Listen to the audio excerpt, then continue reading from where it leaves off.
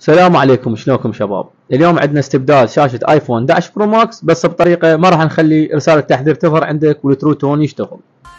طبعا بالبداية نشيل IC التشفير من الشاشة الأصلية للجهاز. نرفع ال IC بهاي الطريقة.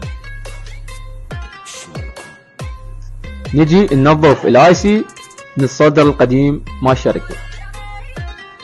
هنا نجيب الشبلونة الخاصة بصب ال IC ات للشاشة ونخلي درجة حرارة ال solder اللي هو 138 حتى من نحتاج حرارة عالية من نقعد ال IC بالشاشة الجديدة.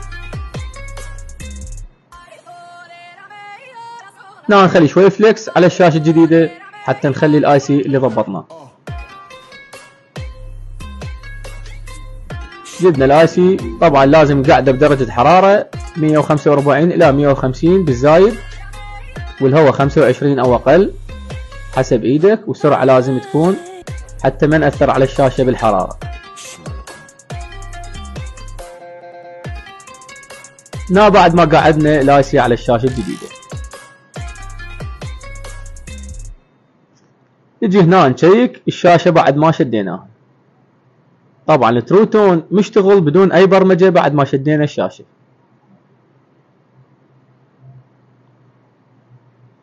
نجي على ال setting ونشوف إذا أكو رسالة تحذير مثل ما تلاحظون أي رسالة تحذير للشاشة ماكو. هذا شغلنا بالنسبة لاستبدال الشاشات طبعا بطريقة احترافية. وبصراحة شاشة ال FLYCDI جدا عجبتني كألوان وكلمس اللي هي True Tone IC مكتوب عليه